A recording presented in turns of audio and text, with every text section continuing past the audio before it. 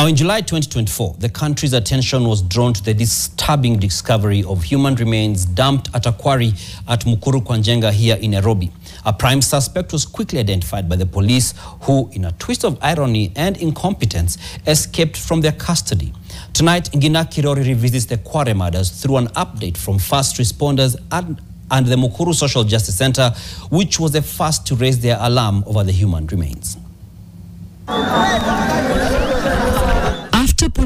Singled him out as a prime suspect in the murder of a whopping 42 women, after which he allegedly dumped them at Kware dump site, one would have expected that a keen eye would have been kept on Collins Jumaisi. But alas, his escape from Gigiri police station degraded the belief that the puzzle behind the infamous Kware murders would finally be solved. Today, representatives from the Mukuru Social Justice Center, who are the first to break the news about the dumped human remains, released a report titled Kware, the Aftermath, where they reveal what happened after police and security apparatus took over the scene of crime. Hata wakati nilikuwa nikitoa hizo mili, kuna, kuna makara walinishika na wakaniambia wanaweza nificha mbali sana nisioonekana. E, eh, na mimi nikamwambia wafanye chenye wanaweza fanya, lakini siwezi nyamaza.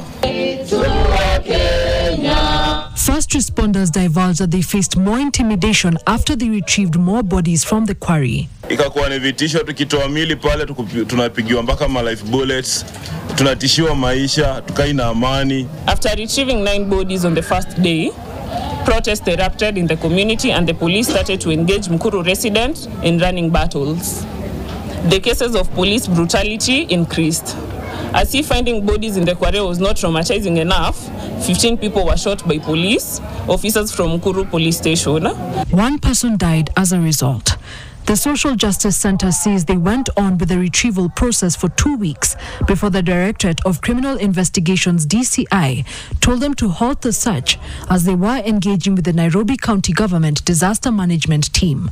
The situation of the psychological struggle has additionally been compounded and uh, compounded by unceasing phone calls, harassments, and threats from unknown people who are suspect to be the Kenya police. na tukiendelea kunyamaza tutaisha, kwa sababu tumekuwa waoga.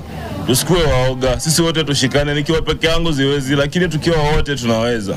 Only six of the 18 bodies recovered have been identified. The stench of death may have dissipated in the air in this quarry behind me, otherwise known as Kware, a name which has become synonymous with one of the most horrific discoveries of human remains the country has ever witnessed, yet remains a case grown cold, just as many others have.